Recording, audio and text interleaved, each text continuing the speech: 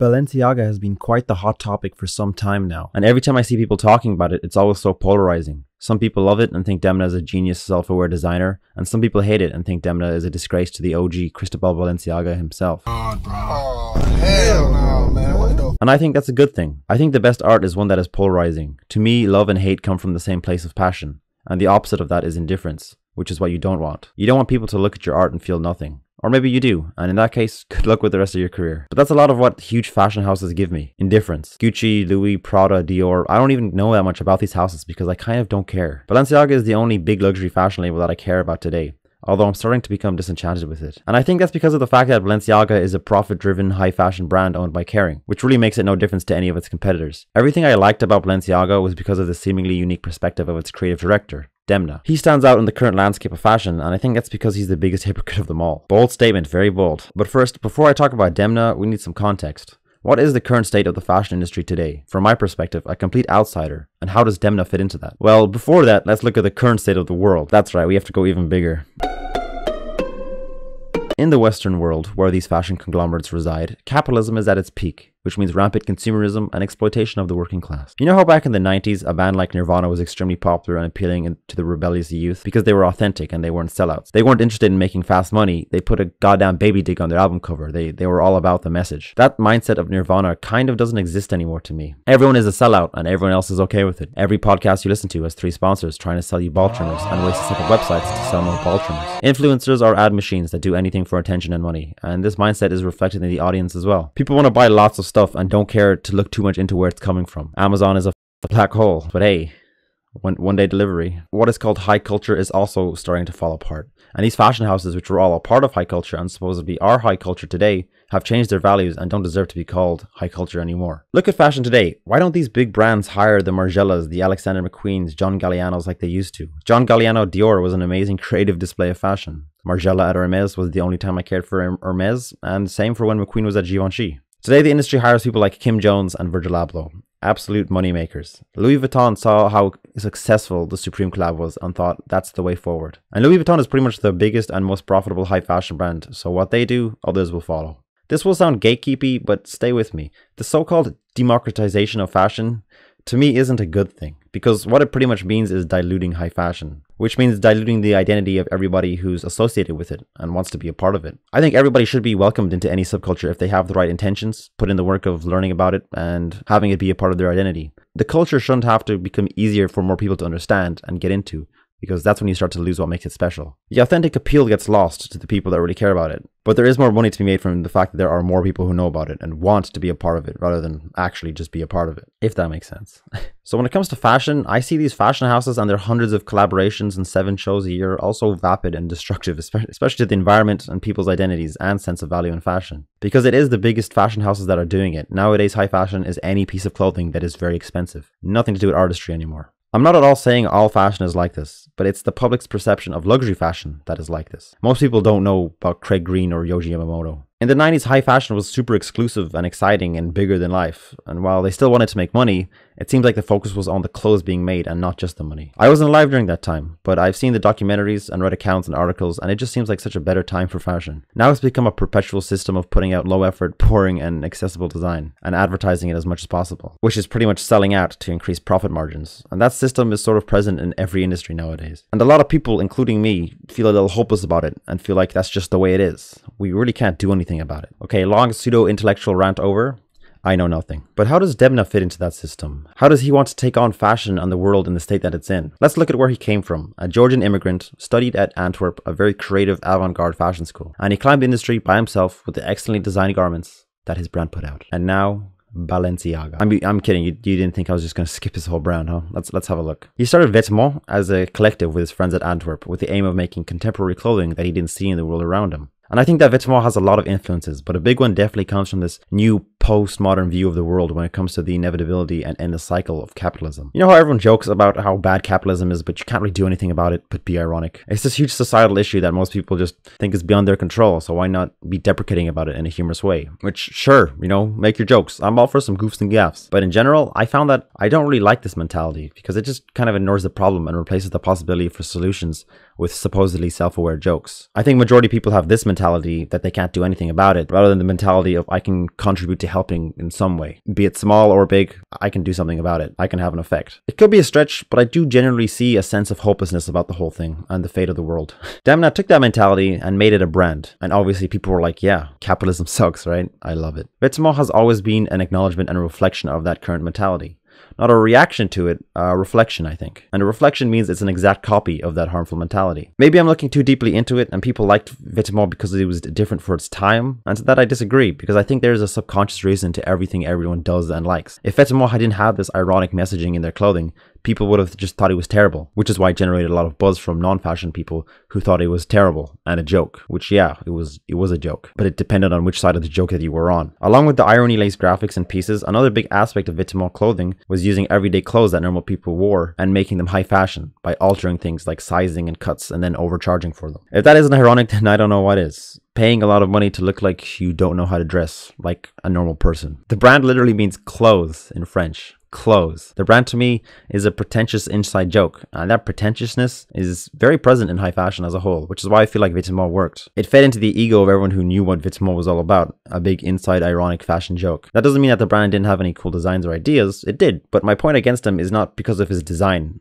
but rather his messaging, which to me is equally important in a brand. And without the joke, what is Vêtements but an extremely overpriced brand of mostly everyday clothes styled in a new subversive way? I was also into my irony at one point, but I'm tired of being nihilistic about the fate of the world and this outlook that we're fucked, might as well be consumed in it. I miss sincerity and genuineness in fashion, and I feel like Demna has further pushed the mentality of fashion consumers towards this nihilistic path where the clothes you buy really mean nothing and fashion is all based on hype. He also helped normalize the idea of overpaying for low quality. I'm not saying your clothes need to be the price of fast fashion, but $1,000 for a hoodie? Are, are you serious? This is all my speculation, but you know how everyone's saying the actual quality of high fashion items are really bad, except for like Hermes? Maybe it has to do with the success of brands like Off-White and Vêtements selling simple, cheaply made items for so much and getting away with it and then maybe the rest of high fashion followed that. Virgil Abloh was like this as well, where the price of the clothes he makes are super expensive because he wants to be taken seriously by the high fashion industry. Meanwhile, he tells people that you can also be a part of Off-White, even if you can't afford it, by encouraging people to go and screen print their own t-shirts. And you can do that, but you'll never really be a part of Off-White because that's not what Off-White or Vêtements is trying to be. It wants to be taken seriously as high fashion. By taking these more accessible pieces of clothing and overcharging for it, are you really appreciating and uplifting the cultures you're taking it from? Or are you just taking and profiting from them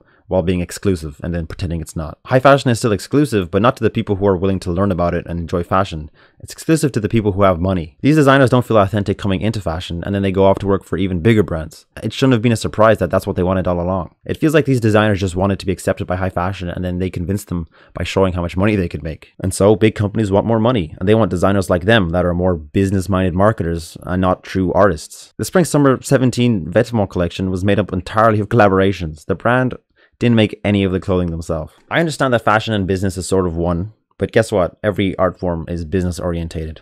And it's the worst thing about art. That includes film, music, and fashion. And I think big business has just ingrained in us that money is the most important thing, more important than good, meaningful art. Because remember how I mentioned Nirvana not being sellouts? As I said, that doesn't exist anymore. Everyone's a sellout and everyone else is okay with it. Because, you know, get that bag, sis. Make that $100 while the company you sold out to makes thousands. I saw this video of this lady bashing Balenciaga's designs. Meanwhile, midway through the video, she says this. Also, don't think for a second that I'm a Balenciaga hater. Because I'm not a Balenciaga hater. Would never do that. Because you know what? If they come to your girl with the sponsorship, I'm not saying no. money is a powerful drug. And look, obviously that's a whole nuanced topic of its own. People need money to live. I get it. I'm not saying you shouldn't make any money off the art that you create, but I think there's a difference between doing that and being a sellout. so now let's talk about Balenciaga. One thing to Vêtements' credit is that they did the whole irony capitalism bad thing first, and they were also independent. This wasn't a manufactured thing to make money by big fashion. It was the output of younger fashion students that wanted to reflect their views. Again, just to stress, reflect their views, which was, this is wrong, fuck it though, right? Might as well get our share. Instead of, this is wrong, let's show how much we hate it and want it to change for the better, or whatever other message they could have had. So I guess Demna wanted to remove any authenticity there was with this project and go work for Kering. And I know in the industry, this is like a big move for a designer now. Rather than work on your own label and establish your own thing, like, you know, Raf Simons, Helmut Lang, Comme des Garçons, Undercover, you'll probably be paid and more known if you work in design for an already established wealthy brand, aka selling out. I'd rather see designers start their own brand and maintain it so that there's more competition against the bigger brands. I don't like how these big brands poach talent and make it seem like you should be thankful. You get to be creative director of Balenciaga. You get to design for us and make us rich. Sounds ideal. And look, it's not like they hire anybody. You'll notice most creative directors already have their own brands and then they go on to run another fashion house after they've proven themselves. So you have your own thing,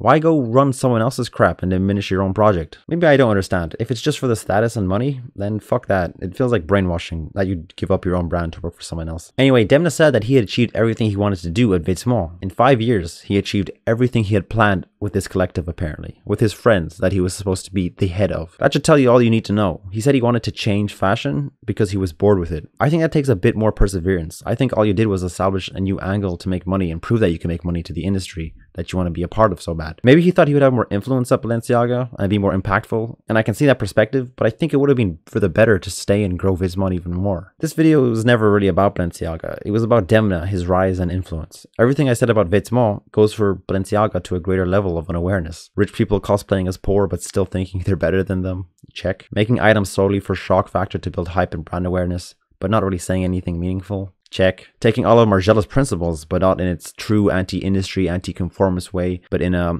how can we make a more monetizable version of this way? Check. Seeming to be very socially conscious, but choosing to profit from it rather than use your influence for the better? Check. Performative messaging is all over Demna's work. Every time he talks about climate change in his work, I roll my eyes. You work for a company that hosts up to seven shows a year in which multiple celebrities emit so much CO2 by coming to your shows in their private jets. Do you know how bad Kim Kardashian and Kanye West is to the environment?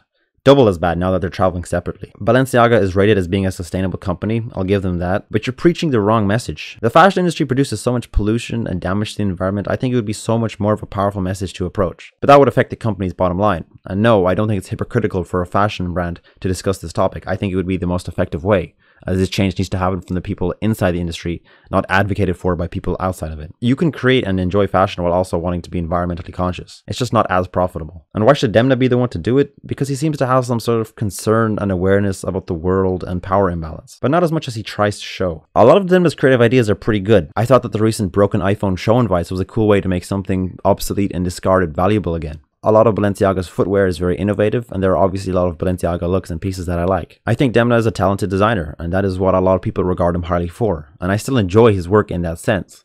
But it's the messaging that's always been so hypocritical for me. In the end, what does Balenciaga and Demna really stand for? What are you buying into? Cool, trendy clothes that represent nothing? Any edge he had at Vêtements left when he joined Balenciaga. How can you be so aware of the culture and mindset and reflect it in your work, but be so blissfully unaware that you're a huge part of the problem? I don't think you are being blissfully unaware.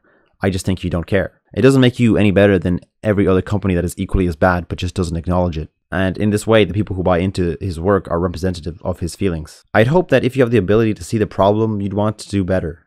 Maybe you are doing it behind the scenes and we don't know. And if that is the case, I take it all back. But for now, Demna, cool clothes, but to me, a bit of a sellout.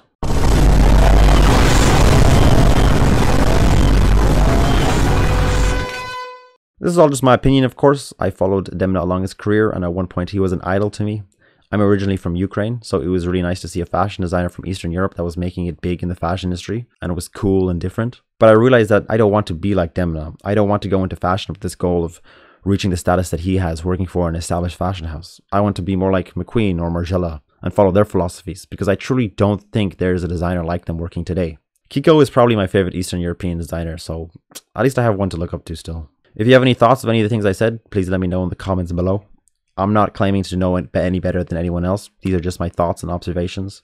I just wanted to share them. There are definitely ideas that I may have missed or info that I may have not have known. You can never really be fully prepared to make a video like this and know everything, but I tried. And I feel like there are people who agree with this perspective. I get that I may be very idealistic and harsh and overly critical, but you know, I'm done feeling hopeless about the world and masking it in irony. I'm also done making excuses for people if I don't agree with their decisions, especially celebrities that I don't know. And also, I can still like aspects about the person and dislike other aspects. I would say that I still like Demna more so than other designers. In fact, I like him a lot, which is why I expect better if, if that makes sense. You don't have to fully agree with me, but I hope you took something from this. Thank you. Like for like, sub for sub. Goodbye.